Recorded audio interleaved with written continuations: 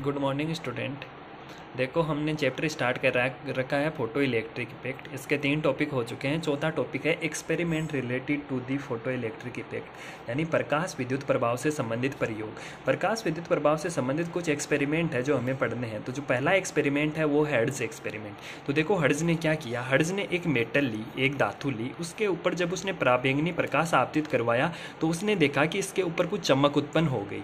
लेकिन जब ये हर्ड्स अपना एक्सपेरिमेंट कर रहा था तो उस समय किसी को भी इलेक्ट्रॉन के बारे में कोई जानकारी नहीं थी, इसलिए यह प्रकाश विद्युत प्रभाव की व्याख्या नहीं कर सका। तो हर्ड्स का एक्सपेरिमेंट क्या था कि उसने एक धातु ली, उसके ऊपर जब प्राबेंगनी प्रकाश आपतित करवाया तो उसने देखा कि धातु की सतह पर एक चमक उत्पन्न होती है, लेकिन उस टाइम तक इलेक्ट्रॉन के बारे में कोई जानकारी नहीं थी, इसलिए यह प्रकाश विद्युत प्रभाव की व्याख्या नहीं कर सका। तो इसको अगर लैंग्वेज में लिखना चाहो तो हर्ज के अनुसार किसी धातु पर जब प्राबेंगनी प्रकाश आपतित करवाया जाता है तो उस पर एक चमक उत्पन्न होती है, परंतु उस समय तक इलेक्ट्रॉनों की खोज नहीं हुई थी, इसलिए यह प्रकाश विद्युत प्रभाव की व्याख्या नहीं कर सका। देखो, इसका जो दूसरा एक्सपेरिमेंट है, वो है हालवाक्स एक्सपेरिमेंट या होलवॉक्स का प्रयोग। अब इसमें भी दो स्टेटमेंट थे। पहला स्टेटमेंट था कि जब किसी ऋणावेशित जिंक प्लेट पर पराबैंगनी आप प्रकाश आपतित करवाया जाता है तो वह उदासीन हो जाती है। देखो, इसको समझने से पहले मैं आपको थोड़ा सा समझ जाता हूँ कि उदासीन, धनावेशित और ऋणावेशित वस्तु में क्या फ़र्क है। देखो, एक एग्ज़ाम्पल से समझते हैं। कि मान लो कोई वस्तु है जिसके पास पंद्रह प्रोटोन और पंद्रह इलेक्ट्रॉन है ठीक है? अब आप जानते हो प्रोटोन पे चार्ज कितना होता है? Plus C one point six into ten की power minus nineteen coulomb electron पे कितना चार्ज होता है? Minus C minus one point six into ten की पावर माइनस नाइनटीन गुलाम अब मैं पूछूँ कि बताओ इस वस्तु का टोटल चार्ज कितना है? तो कितने प्रोटोन है? पंद्रह। तो एक प्रोटोन का चार्ज ई e, तो पंद्रह का कितना हो गया? Fifteen e e। इसी प्रकार कितने इलेक्ट्रॉन है? फिफ्टीन ए का चार्ज माइनस ई तो फिफ्टीन का कितना हो गया? माइनस ऑफ़ फिफ्टीन ई तो टोटल चार्ज कितना हो गया?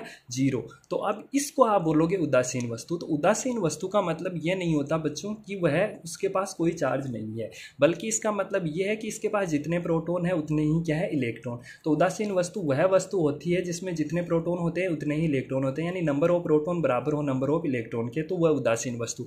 अब मैं धनावेशित वस्तु की बात करूँ, इसी वस्तु को लो, इसके पास पंद्रह प्रोटोन है, इसमें से यदि आपने चार इलेक्ट्रॉन रिलीज़ कर दिए तो अब इसके पास कितने इलेक्ट्रॉन बचे? इलेवन इलेक्ट्रॉन तो इसका टोटल चार्ज कितना हो गया? प्लस फोर है, क्योंकि इलेवन चले गए तो प्लस फोर ई बचा। तो इसमें आप प्रोटोनों की वर्दी हो गई, और प्रोटोनों की वर्दी हो गई, इसलिए इसको आप क्या बोलोगे? धनावेशित वस्तु। तो आप क्या बोलोगे कि इसमें नंबर ऑफ़ प्रोटोन ज़्यादा होते हैं नंबर ऑफ़ इलेक्ट्रॉन से। तो इसी प्रकार ऋणावेशित वस्तु क्या हो जाएगी, जिसमें नंबर ऑफ़ इलेक्ट्रॉन क्या हो, ज़्यादा हो नंबर ऑफ़ प्रोटोन से।